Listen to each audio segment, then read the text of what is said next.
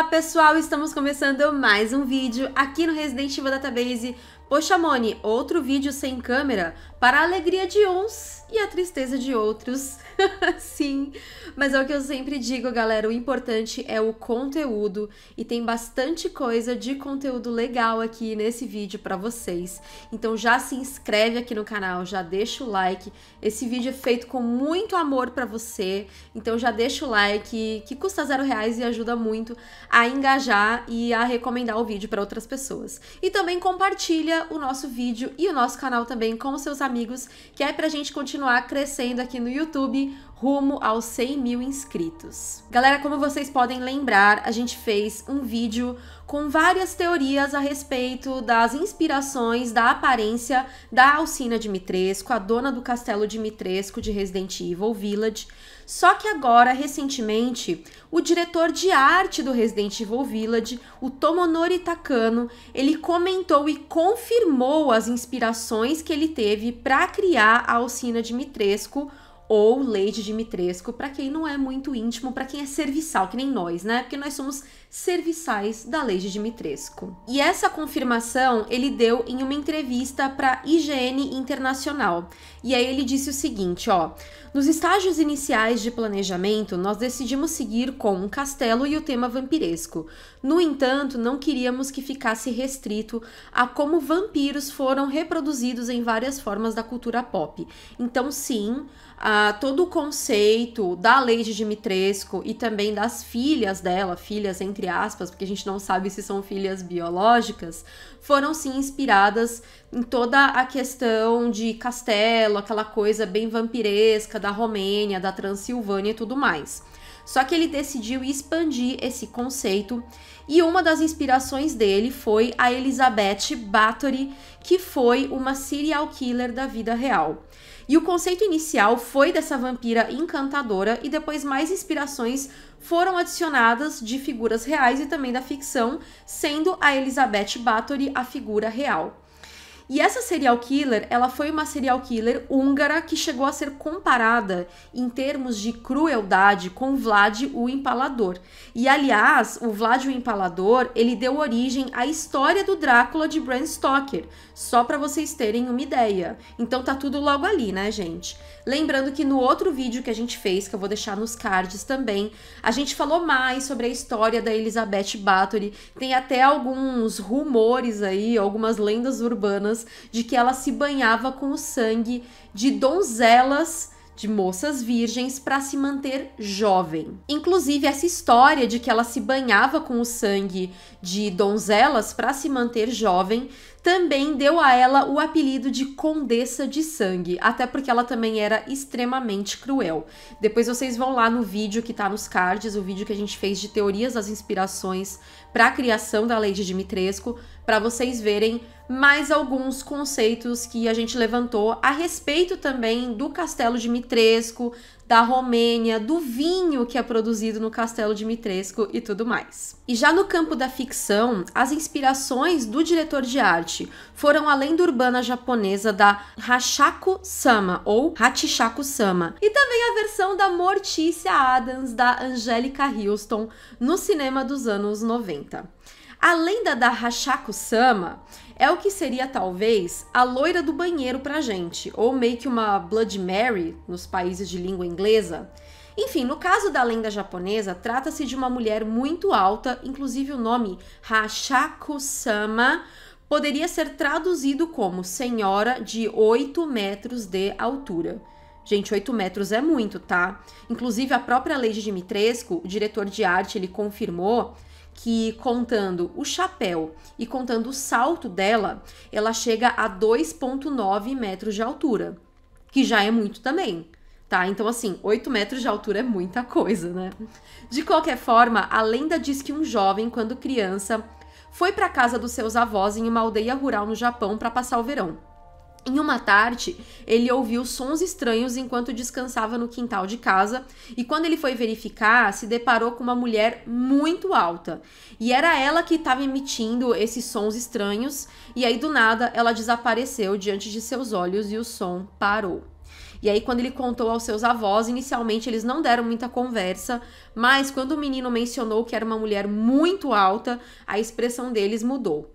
E aí rezava a lenda local que as crianças que viam a Hachaku Sama morriam um pouco depois. Aí o avô do menino teria ligado para uma xamã local que ensinou como fazer para que, quebrar a maldição e o menino devia ser mantido dentro de um quarto, isolado de todo mundo, com sal nos quatro cantos do cômodo. E por fim, o menino receberia um pergaminho para protegê-lo, enquanto ele mantivesse esse pergaminho em suas mãos. Eu adoro lendas urbanas, só que lenda urbana japonesa é outro nível, né, meu amigo? E outra coisa também, a Mortícia Adams, que também inspirou a Lady Dimitrescu, ela já é uma figura muito famosa da cultura pop e a sua versão mais famosa é, sem dúvidas, a da atriz Angelica Houston no filme A Família Adams, de 1991. A própria Angélica já é uma atriz bastante alta, ela tem 1,78 de altura e o que é considerado alto para os padrões femininos, não é à toa que ela foi modelo nos anos 70. E a Mortícia Adams, ela é uma bruxa que se veste toda de preto até os pés e tem cabelos bem longos. Ela é uma mulher muito bonita e ela mantém o seu marido, o Gomes Adams. É só ela falar algumas palavras em francês que ele se derrete todo. Aí ele começa a beijar os braços dela até a altura do cotovelo. Quem assistiu o desenho da família Adams e também o filme da Angelica Houston sabe do que eu tô falando. E no vídeo anterior que a gente tinha divulgado, eu tinha levantado algumas semelhanças que os inscritos também notaram da Alcina com a personagem Lust, a luxúria do Full Metal Alchemist, principalmente por causa das garras e é claro porque ela é bem voluptuosa, né, gente? Mas como o diretor de arte não confirmou, é só uma coincidência mesmo, tá? Enfim, como eu tinha falado agora há pouco, o Takano-san, ele revelou há alguns dias a altura da Lady Dimitrescu, e ela tem quase 3 metros de altura, e não, não é uma brincadeira, tá, gente? Aliás, essa informação, ela veio de uma nota de agradecimento do diretor de arte, e o objetivo foi de agradecer aos fãs por terem abraçado a Alcina mesmo antes do lançamento do jogo. Então, ó, ele falou assim: algumas palavras sobre Lady Dimitrescu do nosso diretor de arte de hashtag ReVillage. Olá a todos, sou Tomonori Takano, diretor de arte de Resident Evil Village.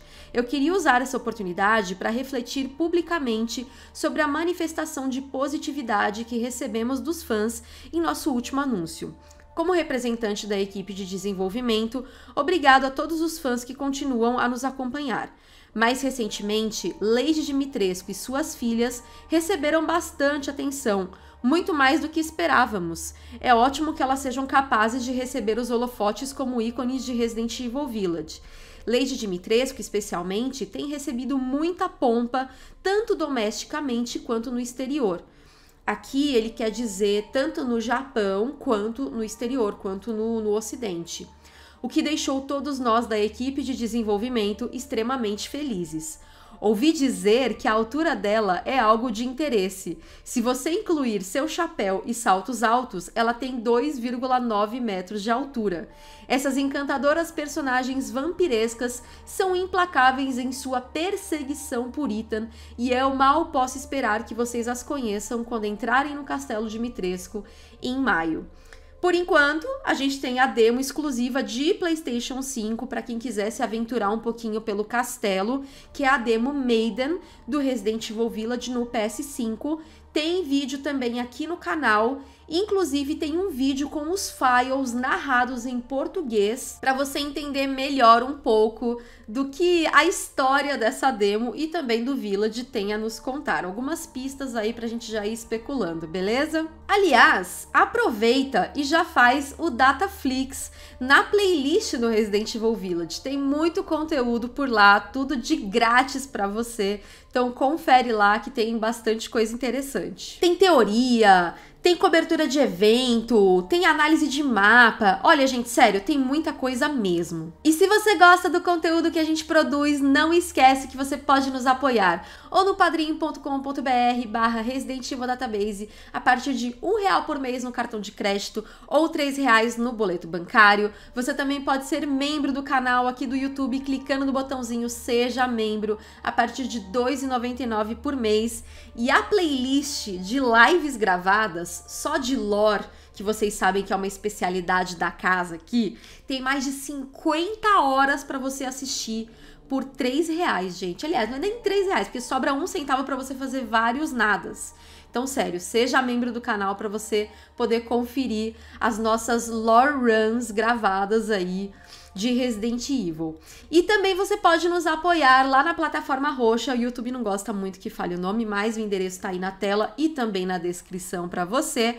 Você pode assinar o Amazon Prime e além de todo o catálogo do Prime Video, frete grátis na Amazon, Amazon Music, Amazon Game, tem várias recompensas em jogos online para vocês no Amazon Game. Você pode dar o seu sub gratuitamente, porque está incluso no pacote, pra gente, para você poder ajudar a gente lá na plataforma roxa e também ajudando na plataforma roxa, você está ajudando aqui também, ajudando a gente a pagar todos os custos e manter a continuidade do nosso trabalho. Eu vou ficando por aqui.